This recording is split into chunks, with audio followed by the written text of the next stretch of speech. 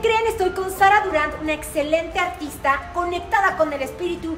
Viene un bazar increíble, Mandala Fest. Es una fiesta de mandalas, va a haber muchos artistas pintando mandalas y exhibiendo su trabajo.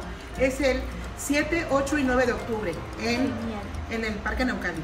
Buenísimo. Si pueden, por favor, dense una vuelta. Lo más importante es conectar con nosotros. Así es. El mandala es una herramienta de autoconocimiento que te ayuda a regresar a tu centro. Exactamente. Hace intervenciones en piedras, en cojines en 3D, en separadores de libros, en dijes, en cualquier tipo de manifestaciones. Bienvenido un mandala. Lo más bonito es meditar en acción, ir disfrutando del proceso de la vida, ¿no? Ah, me encanta. Síganla, por favor, síganla, por favor. Les muestro un poco de su trabajo. Gracias. Gracias. Todo comienza con una piedra completamente blanca y empieza la intervención.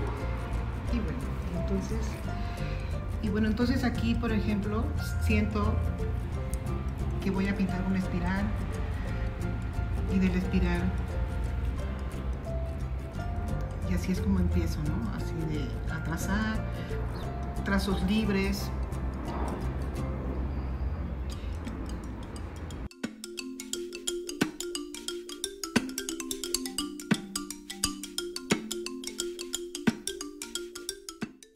Lo más hermoso es que también hay este tipo de piedras intervenidas con mandalas.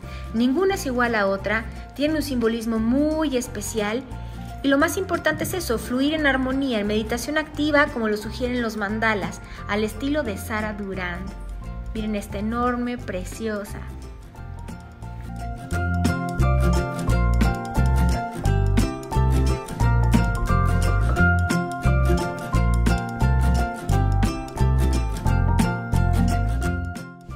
Mandalas con mensajes, mandalas para dibujar, mandalas para colgarte en el pecho, está increíble.